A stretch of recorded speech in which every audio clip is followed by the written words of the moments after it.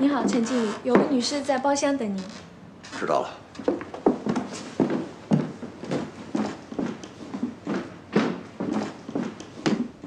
大嫂，老陈，大嫂，你什么时候到的？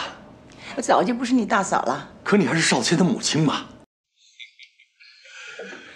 哎呀，想不到你真的回来了。前几天你给我打电话说你要回来，我还以为你是开玩笑呢。你别告诉太太。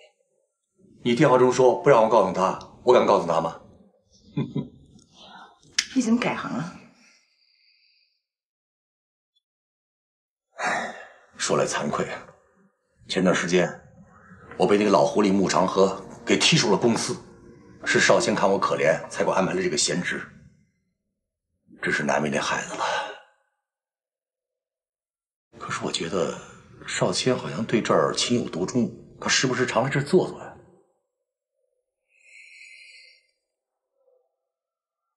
当年我和他父亲中间出现问题的时候，我们两个都想补救，所以他放下了工作，我也放下了工作，我们带着少谦一家三口来这儿度了几天假，结果就是在这家餐厅谈的离婚。是吗？原来是这样，难怪。我先接你，是我想跟你打听一个人，谁啊、一个叫童雪的女孩子，认识吗？我真的不认识啊。她是童文斌的女儿，是吗？她跟我儿子到底是什么关系？我没听过少谦说过她呀。他们俩根根本就不认识吧？我知道你在骗我，为什么要瞒我？十年前大哥刚死，你就选择离开少谦去了德国。十年，你知道少天是怎么过来的吗？他一个人苦苦支撑着。现在一切都过去了，他也长大成人了。你当年既然选择离开他去了德国，现在干嘛回来要干涉他呢？当年他父亲走的时候，我曾经有劝过他，让他放下一切，跟我回德国，从头开始。我也劝他不要接受末世的条件，不要出卖自己一生的幸福。可是他选择留下，我都不尊重他的选择。但是就像你说的，作为一个母亲，儿子的事情，我能不干涉吗？不管那个女孩的父亲曾经做了什么，那个女孩是无辜的。我现在必须要知道，我儿子对那女孩做了些什么。我只见过他们一面，是在一个饭局上。当时少谦装着不认识他，其实我看出来他们早就认识。就这一次，其他的我什么都不知道了。看来你知道的比我还少。你你还知道什么呀？我就是弄不清楚，所以我回来了。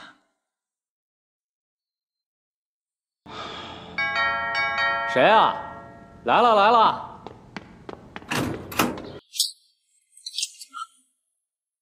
你干嘛呀你？你老实说，你到底认不认识这个人？我倒要看看是不是他们冤枉你。你先别激动，给我两分钟时间。来吧，月夜，你放心，今天我一定会给你讨个公道回来。你到底跟他们说了什么呀？我没有，我就跟踪那个女的时候被他们递了个正着，他们要报警，我只能说我不是坏人，我是个侦探，我真没有把你说出来。你自己这个时候给我打电话，嗯，他们才发现你的。真行啊你！我让你去查一个人，你竟然能搞错对象。从现在开始，我们两个互不相欠，你永远不要在我的面前出现。哎，哎，我我完全搞错了什么？闭嘴！不关他的事，他是收人钱财替人消灾，先让他走吧。啊，走走走走，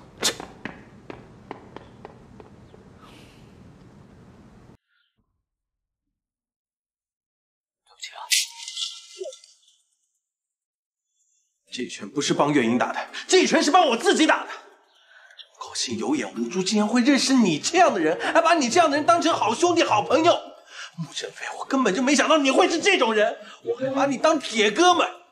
月影这么好一个姑娘，你竟然怀疑她是不三不四的女人？你你为什么要查我？我是帮一个朋友查的，你们都不认识。我不认识的人跟我有什么关系？其实昨天我已经知道是搞错人了，我只是还没来得及告诉那个侦探不要再查下去。穆振飞，枉费我这么喜欢你，可你心里根本就没有我，你为什么要这么轻视我？月英，不要再骂他了。同学，月英，不要再骂他了。不关他的事，是我对不起你，是我对不起你。你闭嘴，跟你有什么关系啊？你才闭嘴呢！你凭什么对他大呼小叫的？你心里变态啊你！你以为你可以对所有的女人都大呼小叫吗？穆振飞，你给我记住了，从今以后咱们谁也不认识谁。月莹，月莹，揍你一顿，我解不了心里这口气。哎，不要再打了，不要再打了，学长，不要再打了，你快去追月莹吧，我还有些话要对她讲，她一个人我不放心啊。去啊！哎。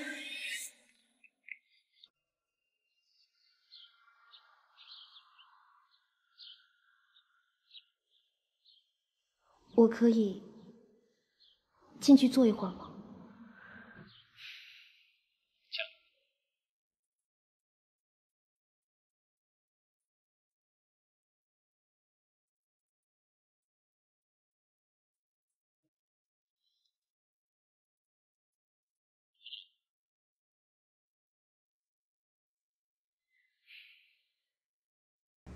我想向你说声谢谢。谢谢你刚才没有揭穿我的身份。不用谢，我答应过你不告诉月莹的。昨天晚上回来之后，我想了很多，想了姐姐，想了姐夫，我还想了……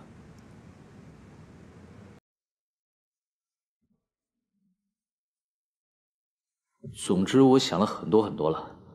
之后天就亮了。一夜没睡，困得不行，就爬到床上去睡了。侦探的事早就忘到脑后去了，一直到你们过来把我吵醒。要是早一点说就没事了，可偏偏还是迟了一步，让月莹伤心了。那月莹和他的照片，我骗你的，那照片不是我拍的，是那个侦探给我的。原来一开始他就搞错了对象。那天，你的手机砸了我。其实你想砸的人是……你的意思是我故意用手机砸了刘月莹，然后误伤到了你？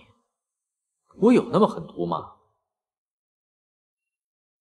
那是个意外，却没想到会伤到你。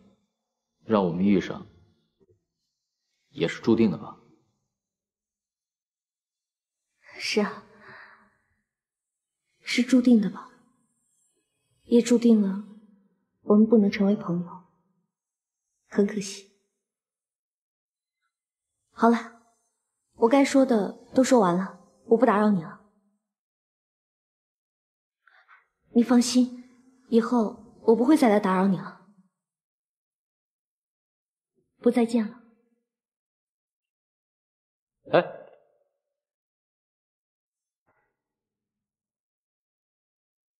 能帮我煮碗面吗？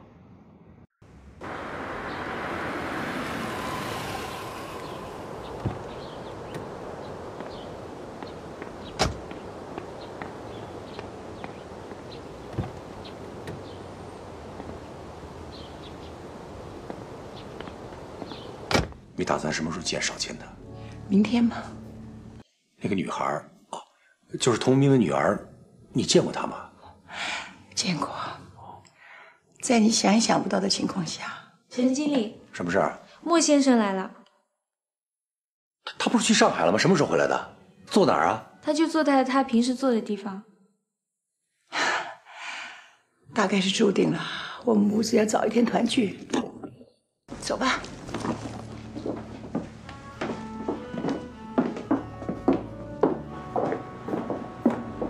少卿，你不是去上海了吗？怎么这么早就回来了？那边那个合约有些细节要修改，我明天再过去。我听他们说包厢里面有客人呢，看来你是福将啊！第一天上班就招来客人了。这客人不是我招来的，是你招来的。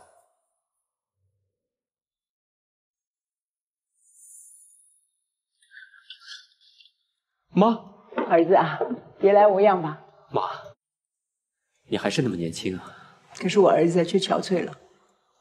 哦，你们母子难得相见，你们谈。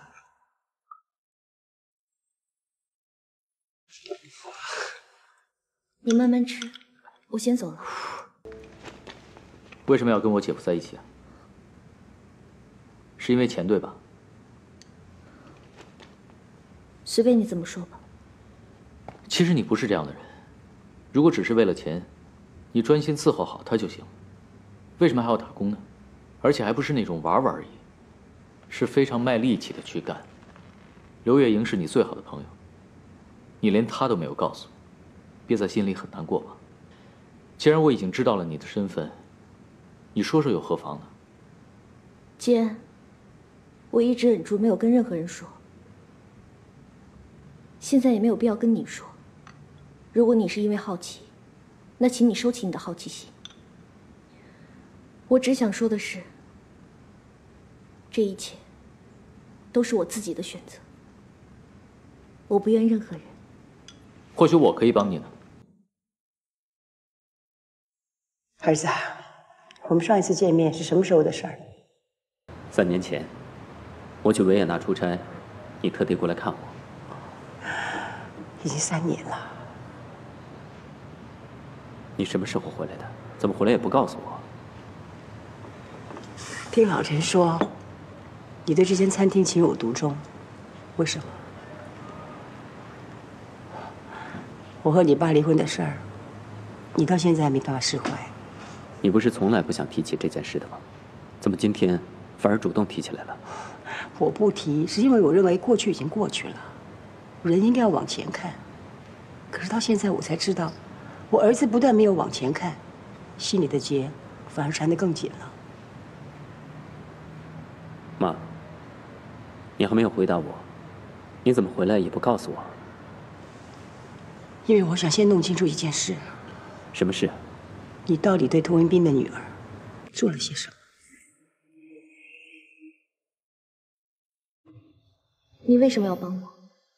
可能是我觉得你不该是那种女人吧。再加上刚才那么一闹，你为了维护我，几乎要揭穿自己的身份。我怎么看都觉得你不是个坏女人。谢谢你的好意，不过我不想重提旧事。事情过去了才算是重提旧事，现在还没有过去，你还是他的人。算是我警告你吧，如果让我姐姐知道了你的存在，你的下场会很惨。苏珊珊为什么会退出影视圈？难道你不知道是谁做的吗？如果我会有那样的下场，那也是命中注定吧。那好啊，既然你要是这么想的话，那我劝你。还不如现在死了干净呢。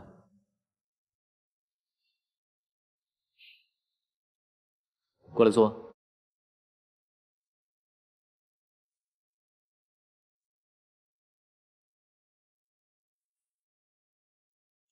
两年前，你在给我的电邮里第一次说出了他的名字，我当时就有一种不祥的预感。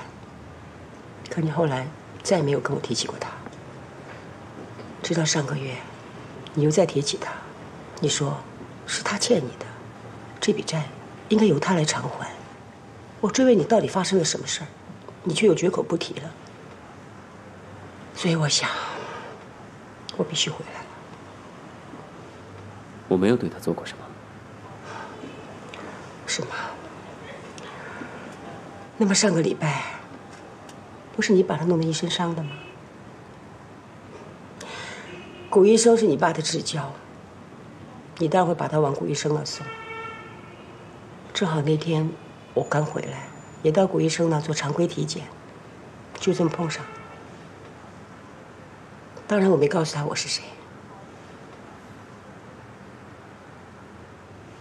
他怎么说我？我问他，那个人是你男朋友吗？他说不是。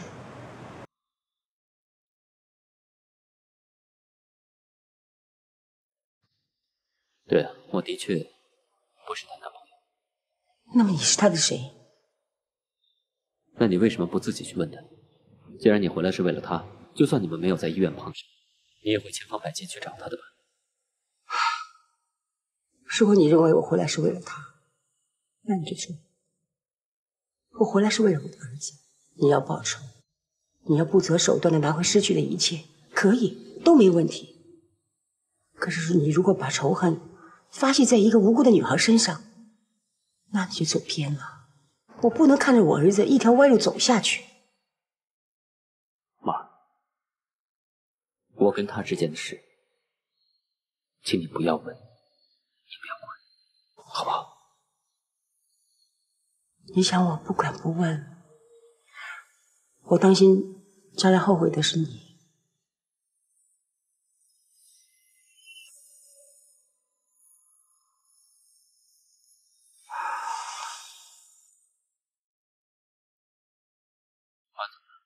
不舒服？没有，有点头疼。这儿怎么到处都是这种花呀？这花的香气太霸道了，真让人受不了。那我们走吧。你还没回答我呢。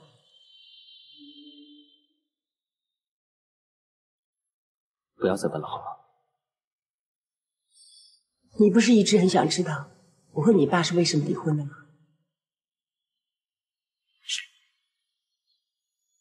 我是一直都很想知道你们为什么要分开。我问过你很多次，可你从来不肯告诉我。如果今天我可以告诉你，我真的很想知道。不过你得答应我一个条件，你要回答我一个问题：你是怎么盯上这个女孩的？儿子，告诉我，妈想帮你。我可以告诉你，不过。不是想让你帮我什么，你应该知道，是没有人能够斗得过他的，是吗？我一直有一个疑问，也许你能够给我答案。好啊，如果知道答案的话，我一定告诉你。不过为了公平。你要先回答我的问题。的确很公平。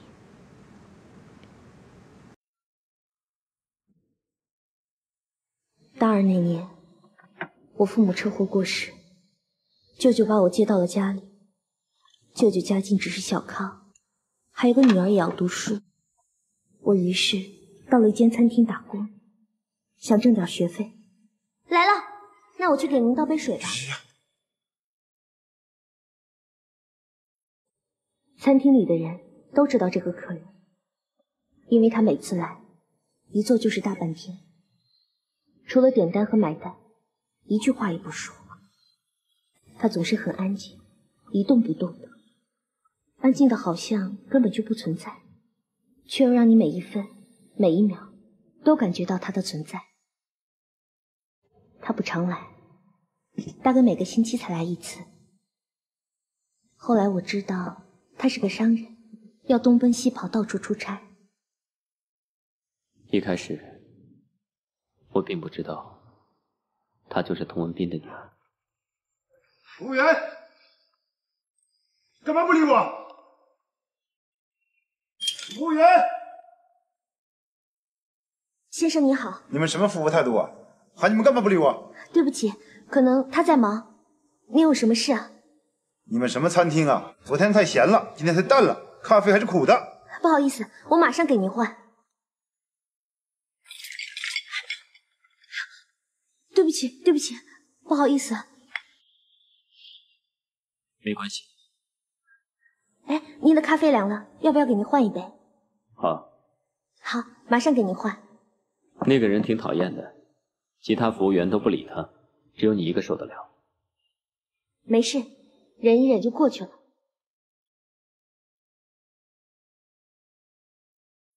没事儿，忍忍就过去了。啊，对不起，这是你父亲生前经常挂在嘴边的话。我爸是白手起家，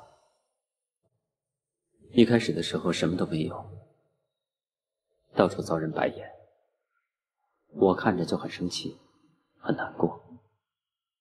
可爸爸还是会笑着跟我说：“小千，没事，忍一忍就过去了。”后来他生意做上去了，发达了，这句话还是经常挂在他嘴边，可口气已经不像从前的委屈、忍忍，而是扩大。没错，这就是我的爸爸。他也忍得太久了，忍了十年。他忍了十年，你不知道他家里的事啊？我不知道，我没问过，他也不会说。我宁可对他一无所知，尤其是他的太太。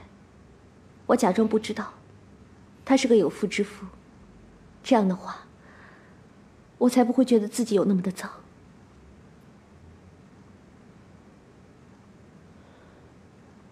然后呢？后来，那个客人突然不来了。本来他几乎是天天来的。过了没两天，我才知道，他把那个餐厅买下来了，而且命令不准招待那个客人，不做他的生意。他是那个餐厅的老板。是。那他买下那个餐厅，是为了你吗？是为了我吗？我从来都没有这么想过。他怎么可能是为了我把餐厅买下来呢？我凭什么呢？可能他是太有钱了，也许他太讨厌那个胖子了。你竟然把整个餐厅都买下来了？我有钱啊！如果你没跟我说刚才的事儿，我还以为……你买下这餐厅是为了我和你爸的事，有一半是为了这个原因，另一半是为了他。怎么可能？我是为了我自己。我不喜欢我经常去的地方有那么一个讨厌的人在。难道没有一丝一毫是为了他？你以为我喜欢他呀？像她那种个性那么好的女孩，一般来说很容易被男人喜欢的。像你说的。像她这样的一个女孩，一般的男人都无法抗拒。就算我是喜欢他，那又怎么样？也没什么大不了的，不就是过眼云烟吗？你真的对他没有好感？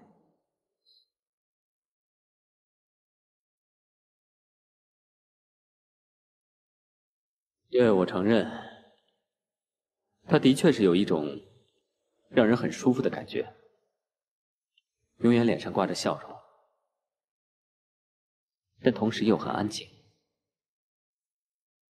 安静的让你几乎不会察觉到它的存在。可当你需要它的时候，它就会出现。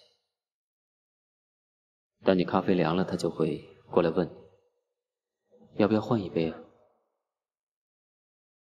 当我准备离开的时候，他会及时跑过来问你是不是要结账。仅此而已。你到现在还是这家餐厅的老板？一直都是。难怪还没关门大吉，原来幕后大老板是莫总。其实啊，这餐厅的生意真的不怎么样。这几年来，我一直在亏本。你竟然肯做亏本生意？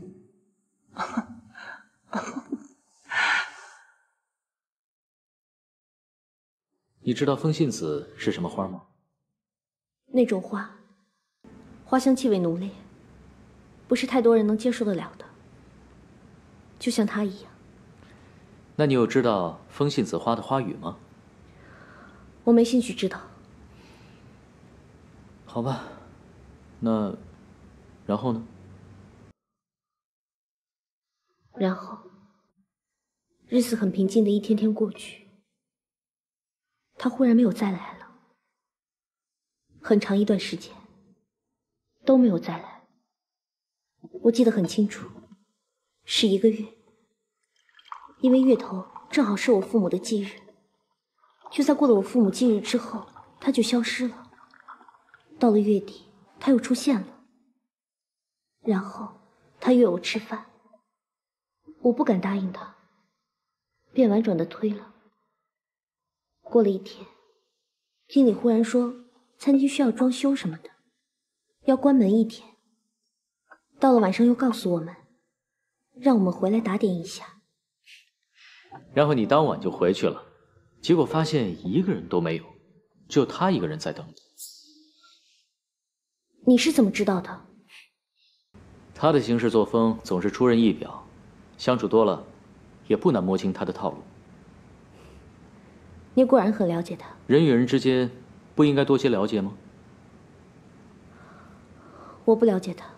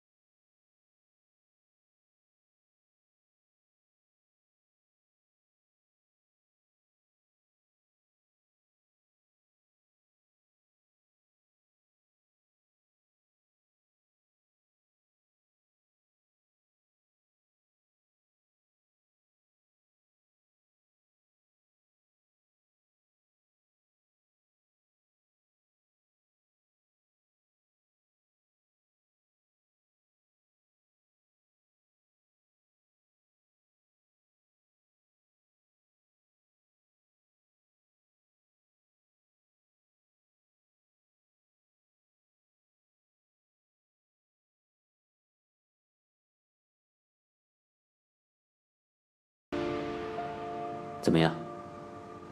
不喜欢啊？我怎么会不喜欢呢？但是，但是什么？虽然我不知道这条项链有多贵重，也知道有钻石镶着，一定不便宜，但是一个男人送这么贵重的东西，我就是再笨也明白。那你怎么说？对不起，我不能接受。我们是不可能的。真是一个难得的好女孩啊，面对这样的诱惑却不动摇。换做是我，说不准马上就跟你跑了。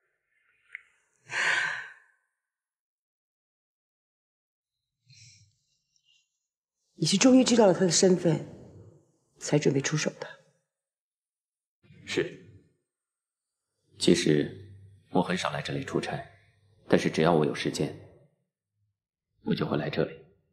而且我会做两件事：第一，就是来这个餐厅坐一会儿；第二，我一定会去他父母的墓地去看一看。他们出卖父亲，害死父亲，即使他们已经死了。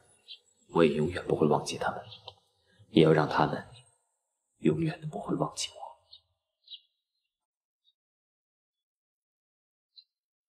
然后，你就马上去查他的身世了。是。当时的心情怎么样？很失落。什么意思？你在挣扎什么？我没有挣扎什么。你知道她是仇文斌的女儿，却一直犹豫，终于等到一个月后才出手。这段期间，你在挣扎些什么？因为你发现了他的身世，终于找到了报仇的对象，可你心底里明白，他是无辜的，是吗？看来我儿子还没有那么坏。最后是什么刺激了你？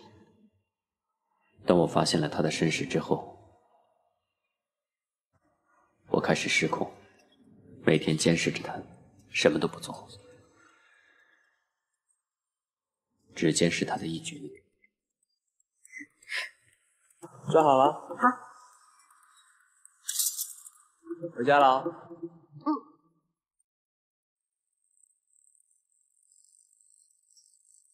你说的对，当时我还不知道跟娜娜怎样，直到有一天，我看见了她和男朋友在一起。你是因为看见她和她男朋友在一起，所以你嫉妒？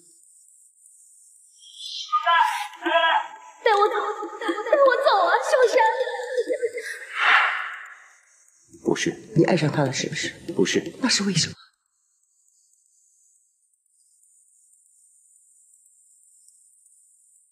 那是因为我受不了，他还能活得那么开心，既然我一辈子都不能幸福，那凭什么他就能幸福？那为什么这里摆满了风信子，连餐厅的名字都改作风信子？风信子代表什么？爱情、嫉妒、悲伤、怀念，还要赌注。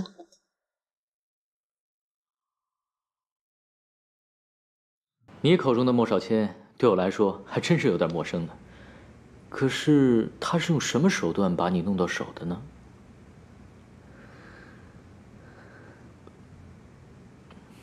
对不起啊，我说话有点重。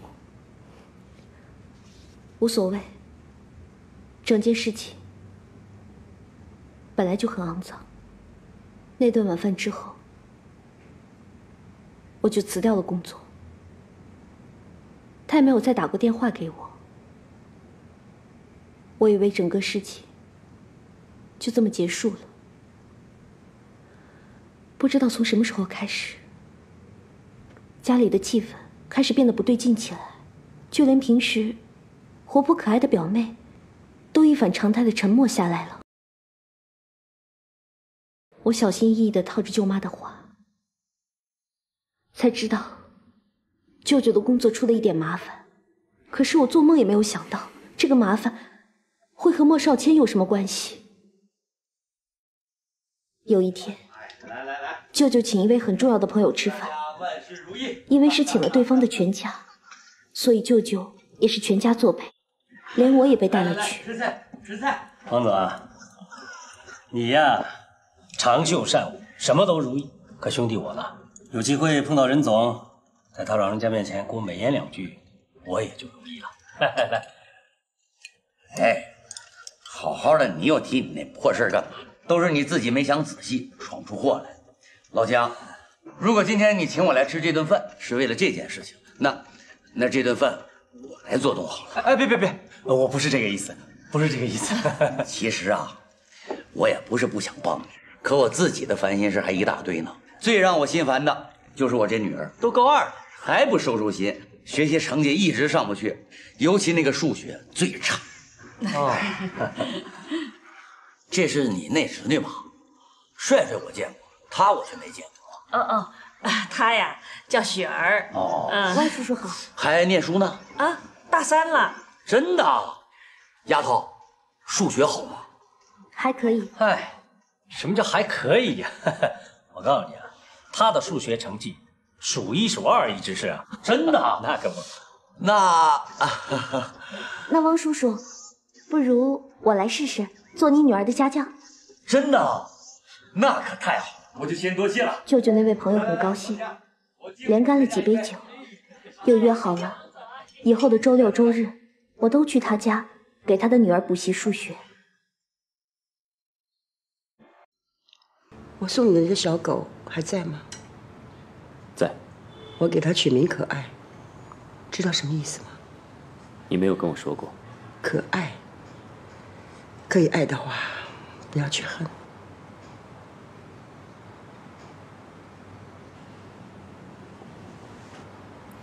妈，如果你知道我用什么手段去得到他的话，你就会知道我没有爱上他。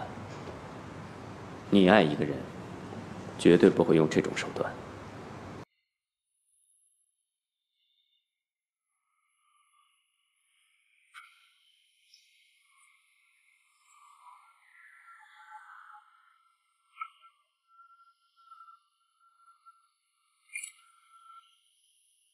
请问您是？您好，我是同学，我是来给汪叔叔女儿补习的。莫先生，冯小姐来了。进来吧。谢谢。很准时嘛。来，吃点点心吧。怎么是你？你辞了职。我给你打电话，你又不接，那我只好另外想办法了。汪叔叔跟你是一伙的，我很感激他帮了我一个大忙。莫先生，我以为我以为我上次已经说的很清楚了。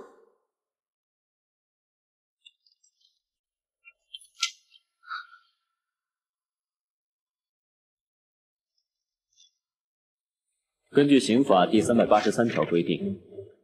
个人贪污数额在十万以上的，处十年有期徒刑或者无期徒刑，并处没收所有财产；情况特别严重的，处死刑，并处没收所有财产。数数那些零，估计你舅舅这下半辈子都要在牢里面度过了。你想怎么样？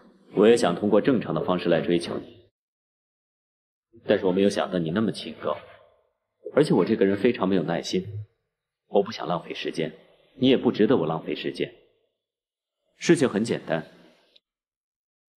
只要你给我我想要的，我保证这些证据都不会出现在反贪局。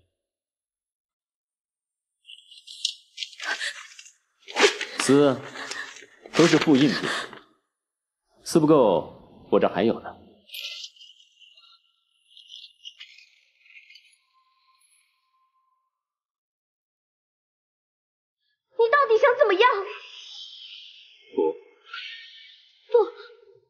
我说话不喜欢说第二次，我现在就给局里的朋友打电话。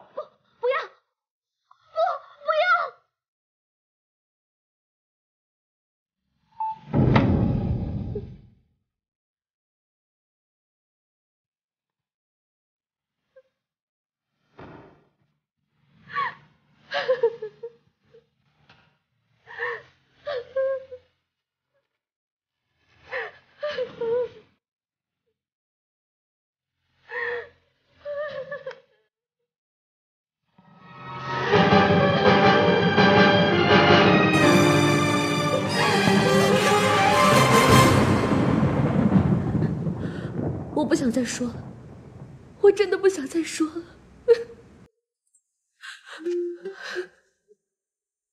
他舅舅的罪证是真的吗？有必要伪造吗？他父亲是个卑鄙小人，他舅舅也是。有个这样的父亲和舅舅，真难为这孩子。有我这样的一个儿子，你也很失望吧？有你这样的儿子。我这做母亲的难辞其咎。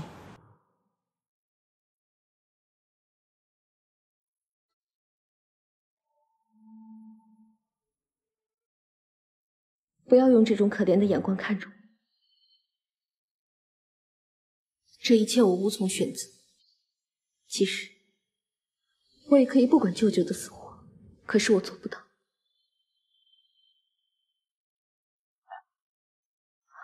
你舅舅知道吗？不知道。我想，他做梦也想不到，他的那个朋友是那么坏的一个人。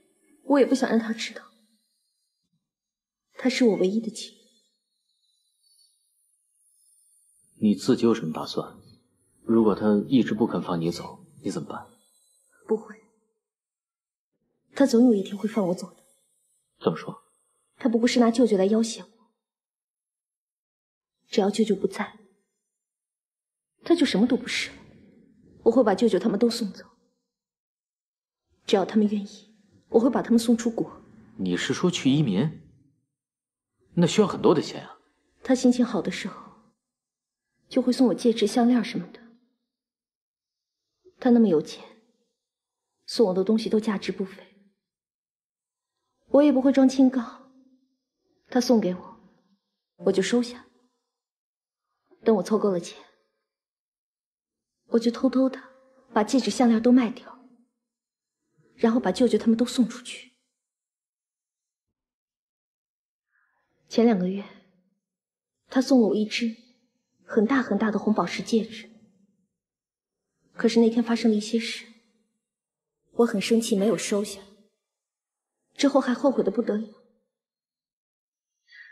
不过还好，最后那个戒指落在了我舅妈的手里。怎么回事啊？我不想再说。反正到了那一天，我把舅舅他们都送走，我就会离开他。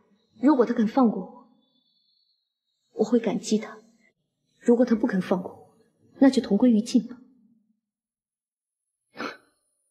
真没看出来，你也会深谋远虑。当你跟着一个魔鬼生活了两年，你多多少少也会学会一些手段吗？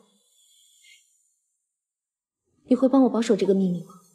我为什么要说出去啊？谢谢你。那。你心里到底有什么疑惑呢？